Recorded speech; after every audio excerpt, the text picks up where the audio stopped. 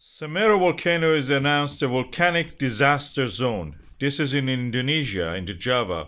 It is one of the biggest uh, volcanoes in the in the Java island, and the eruption of it released a lot of pyroclastics. As you can see, people are escaping for their life. Uh, and the latest images also show that uh, people are evacuating the area. This is practically a disaster zone. They need help. These people need home, somewhere to know to settle even if you want to go to toilet when there is nowhere to where to go. It causes a lot of you know hygiene problem disaster diseases and such things. Where they can put their head down on a pillow to sleep there is nowhere else. People have lost their home.